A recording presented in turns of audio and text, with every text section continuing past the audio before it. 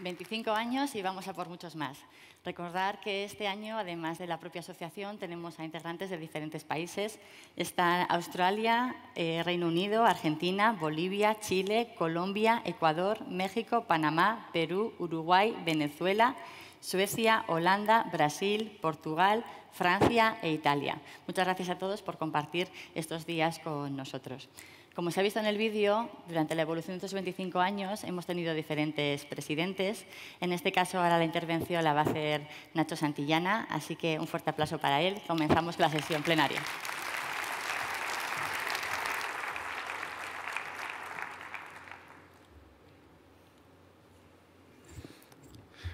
Buenos días a todos. Un año más y ya son 15 de Fórum y 25 de OSAPE.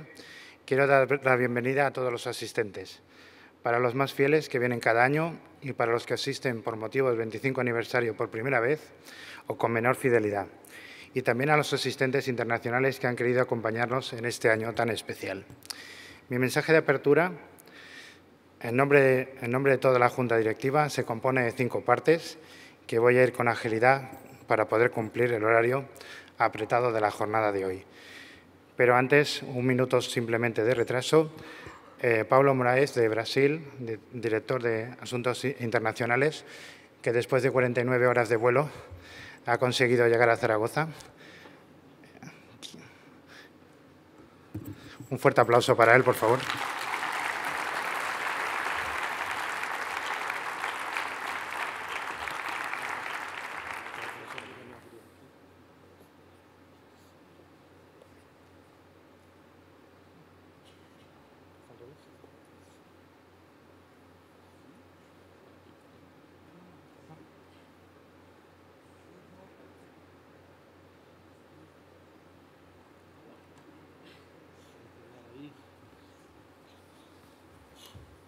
Finalmente. Muchas gracias, muchas gracias. Es un orgullo para nosotros estar aquí. Muchas gracias. Uh, trabajamos en conjunto hace mucho tiempo y es un gran placer, eh, incluso para la nueva oficina, ¿no? Para poner ahí un señal de nuestra amistad. Gracias.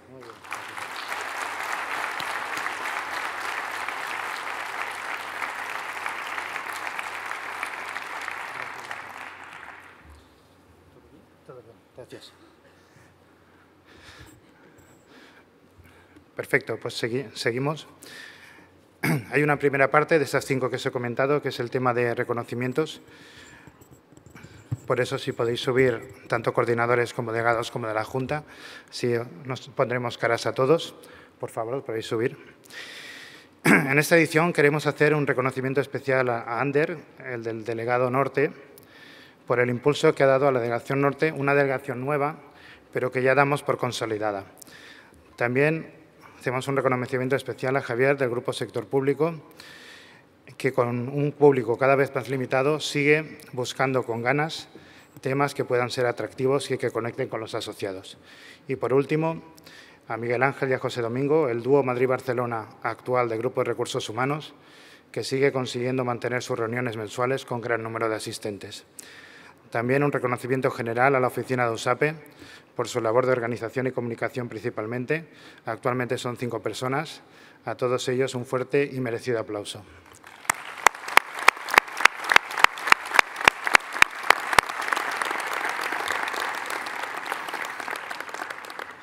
Bueno, y ahora ya que estáis en el escenario, me voy a desviar dos minutos más del tiempo establecido.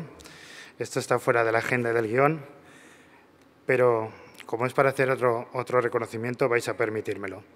Luego os hablaré de los 5D, que es el título de, este fórum, pero ahora quiero añadir dos Ds más a dos personas de la oficina de OSAPE que llevan mucho tiempo con nosotros y que son la esencia de OSAPE. Son la dedicación de Roberto y la delicadeza de Mercedes. Mercedes, toda la vida de la Asociación al Pie del Cañón, pendiente de todos los detalles, la voz amiga al otro lado del teléfono, y Roberto, el buscador incansable de excelencia en el servicio, impulsor de los mejores eventos del entorno SAP España y particularmente nuestro fórum, que se ha convertido en el evento de referencia. Para ellos dos y para todos, un pequeño obsequio de todos y un aplauso. Gracias.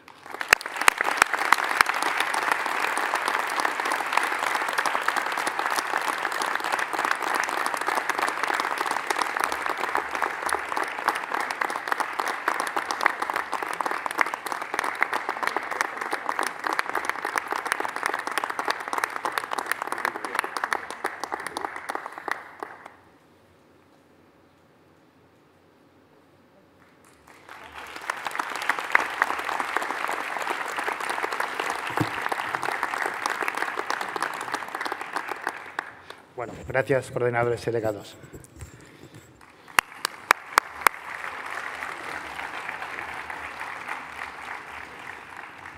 Bueno, he dicho cinco temas, ya llevamos uno, vamos por el segundo. El segundo es el tema de la aprobación del cambio de domicilio fiscal de la asociación, que como sabéis, algunos de vosotros eh, ya hemos realizado. Eh, queremos comunicarlo eh, personalmente y es el traslado de las nuevas oficinas que hicimos a mediados de abril. Invito a todos aquellos que tengáis ocasión que paséis a verlas. Realmente son bastante mejores que las que teníamos antes. Y algunos, si habéis participado en alguna sesión de grupos de trabajo, pues quizá ya las conocéis. ¿no? Este hecho supone un cambio del domicilio fiscal de Corazón de María número 68 a López de Hoyos 155. Y para no esperar a la Asamblea General de enero del 2020, gracias Gonzalo, eh, proponemos aprobarlo hoy en el fórum donde estamos y hemos comprobado que hay quórum suficiente. Para hacerlo fácil, hemos controlado el acceso y, por tanto, sabemos que hay quórum suficiente. Eh, y suficiente derechos, o sea, pues, perdón, eh, hay quórum suficiente de asociados con derecho a voto. Eh, si hay alguien que vota en contra o en blanco de este cambio, pues podría levantar la mano, por favor. No. Bueno, es un tema, es un tema de formalización, hay que hacerlo así. Vale. Llegados a este punto, lo damos por aprobado, el cambio de estatutos en el artículo 4, referente al domicilio social de AUSAPE. Gracias. Perfecto. Vamos por el, por el tercer punto. Eh, Sergi, si puedes acompañarme, por favor. Eh, como no podía ser de otra manera, AUSAPE continúa comprometida con la responsabilidad social corporativa y ya en la Junta Directiva de febrero del 19 se aprobó que este año 2019 especial para nosotros por celebrarse el 25 aniversario, no íbamos a realizar un donativo, sino dos. El primero es para Pastilla Aragón, que, que recoge María Jesús Morales, madre luchadora, emprendedora, pionera en la visibilización de la comunidad sordociega en España y abanderada de su defensa y derechos en la comunidad de Aragón, con proyectos de futuro como la creación de una casita residencia donde las personas con discapacidad sensorial encuentren su lugar. Por favor, María Jesús, ¿puedes subir?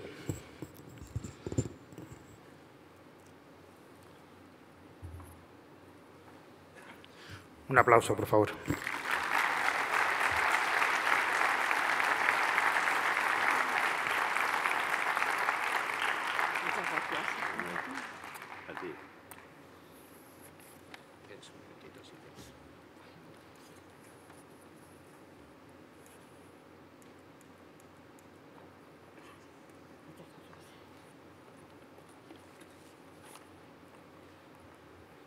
Jesús, tienes un minuto por si quieres dirigirlo, pero también deciros a todos los asistentes que tienen su stand, no, no recuerdo el número ahora, está número, 14. Número 14, con lo cual siempre a vuestra disposición. Muchas gracias.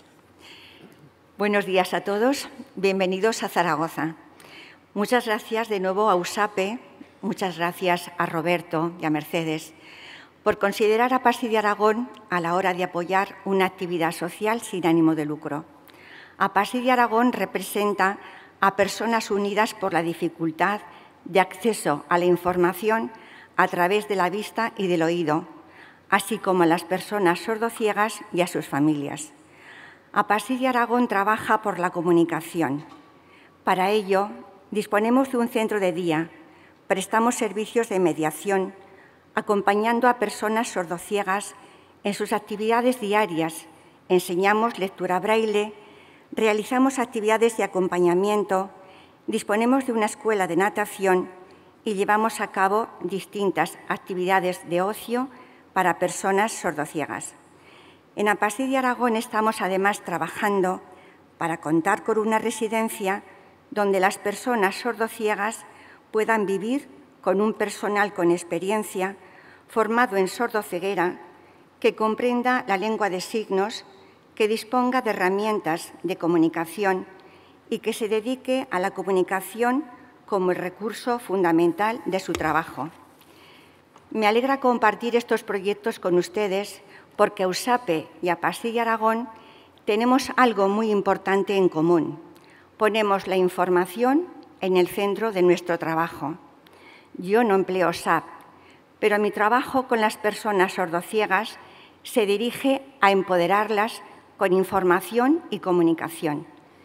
En el empoderamiento de una persona sordociega en Apasí de Aragón trabajamos para extraer datos, convertir esos datos en trozos de significado para esa persona sordociega.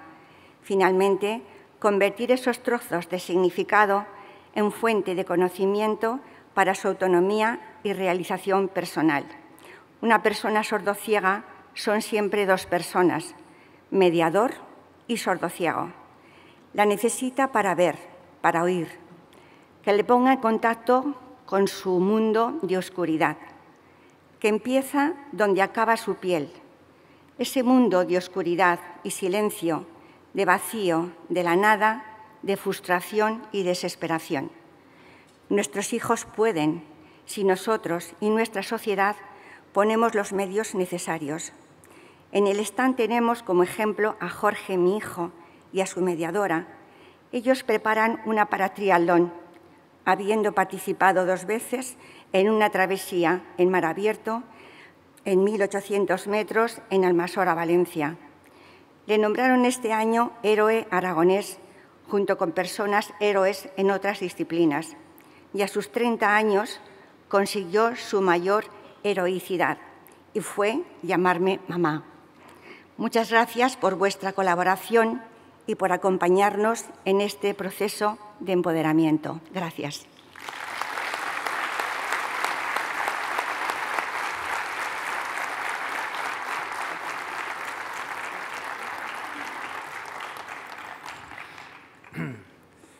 Y el segundo donativo es para Tuaret Aragón, que recoge Josefina Vergara, otra madre, no solo paciente de la enfermedad, sino madre con un hijo con la misma problemática,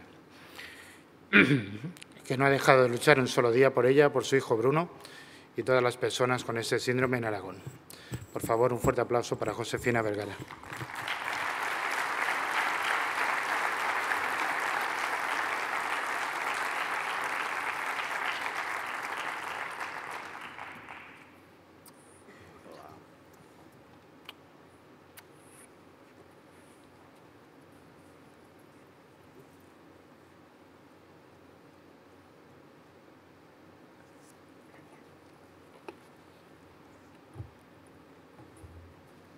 Bueno, buenos días a todos y muchas gracias por estar aquí.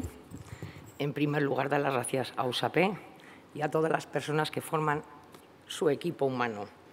Ya sabéis mi nombre, me llamo Josefina, soy paciente de síndrome de Tourette y una de las madres fundadoras de la Asociación Aragón Tourette. Gracias a este equipo humano que nos ha dado esa oportunidad hoy de hacer un poco más visible una enfermedad minoritaria como es el síndrome de Tourette una enfermedad que forma parte de esas más de 7.000 enfermedades poco conocidas. La nuestra es una enfermedad genética de origen neurobiológico que no tiene cura, que no dispone de medicamentos específicos, aunque afortunadamente no te mata, porque mueres con ella y naces con ella. Eh, como ha dicho aquí el compañero, yo empecé mi lucha, aunque yo ya sabía lo que tenía, pero por aquel entonces yo no sabía que tenía eh, mi hijo pequeño con una enfermedad de la que yo era portadora también, empecé a luchar por él por los problemas que había de acoso escolar. Y mi comienzo fue, para que me entendáis, plantarme dentro del Departamento de Inspección Educativa porque nadie me atendía. Y nadie me atendió hasta que un buen día, después de estar casi dos meses allí todas las mañanas con una pancarta, eh, resulta que pasó una persona y se paró a hablar conmigo. Qué casualidad, era un chaval joven cámara de, la televisión Aragón. Y me dijo, ¿mañana vas a estar aquí? Digo, sí, mañana te traigo noticias. Dos días después estaba en la televisión y en Radio Zaragoza. Ahí empezó mi andadura y ahí es donde dije que los demás niños con síndrome de Tourette no pasen el problema que ha pasado mi hijo Bruno. Muchas gracias a todos.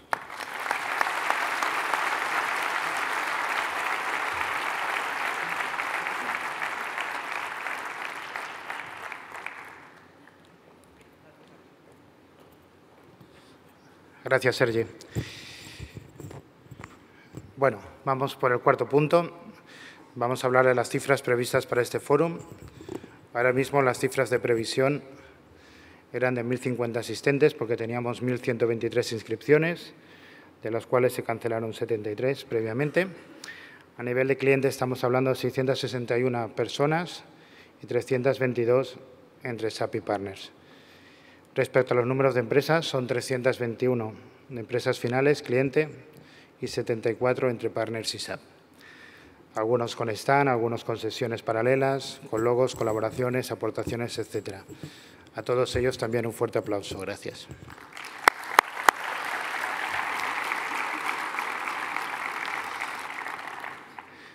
También nos habíamos fijado un objetivo en el fórum de tener los 550 asociados. Cuando acabe mañana la clausura intentaremos confirmarlo. Y tampoco me gustaría olvidar otro de las cifras, que eran los 30 litros de donación de sangre como objetivo inicial. Mañana también sabremos el resultado real. Respecto al APP, que bueno, ya empezó el año pasado y este año hemos mejorado, pues deciros que ya el, mismo sábado, o sea, el sábado día 1, ya habíamos superado el número de descargas del año pasado y ahora, si no me fallan los números, estamos en 773 eh, descargas de, de, APP, ¿de acuerdo? En logins creo que estamos en 500 o algo así. Gracias por la fidelidad al APP. Muy bien, el último y quinto punto de mi presentación de apertura es referente al 5D y billón o 5D y más. Después de todas estas atenciones eh, protocolarias, entramos en materia y cuando nos planteamos organizar este foro de 25 años, bueno, cambiamos un poquito formato, lo sabéis, y hemos ido añadiendo cosas a medida que el presupuesto lo ha permitido. El tema, el tema y el contenido hay que hacerlo ligado a un mundo con una visión amplia, que sea de interés, que sea de actualidad. Esas son las ideas que salieron dentro de la Junta, que sea atractivo, y de ahí surgió el 5D, haciendo un guiño a tecnológico al 5G del Mobile World Congress de Barcelona. De los 5Ds, que ya sabéis cuáles son, que son demencia, dependencia, dieta, debate y desconexión digital, vendrán unos profesionales que hablarán con mayor rigor que yo. Pero quiero centrarme en el debate digital, que lo engloba todo, y, y, bueno, y me gustaría proponeros otras Ds que no hemos podido poner el título por un tema de espacio, no sé si llegaremos a las 25, pero estamos cerca. En el tema de derechos digitales sabéis que se habla de democracia digital, de decisión digital, de desigualdad digital debido a la brecha digital existente. Incluso se puede hablar de doctrina o dictadura digital. En el tema del juego, que sabéis que se ha elevado mucho el juego digital, se habla del dado digital y también de los duelos digitales de una persona contra otra. En el tema de salud, pues hablaremos de doctor digital, otra D, de dolencia digital, de la dosis digital adecuada, incluso se habla de detox o desintoxicación digital. También en niños en colegios se habla de distracción digital, se habla de descanso digital, incluso hay otro problema que es la desolación digital, gente que se siente sola porque solo se comunica digitalmente. En el ámbito de la información, ¿qué deciros? Pues el diario digital y el diccionario digital. Como podéis comprobar, el billón del título de Fórum tiene bastante recorrido y para acabar mi apertura y empezar con la agenda, casualidad o no, alguien dijo que el deporte tiene el poder para cambiar al mundo. Fue Nelson Mandela en junio del 95, pues hoy en junio del 19 podemos decir que la fuerza digital tiene el poder para transformar al mundo en el deporte y en muchas otras actividades de la vida. Gracias.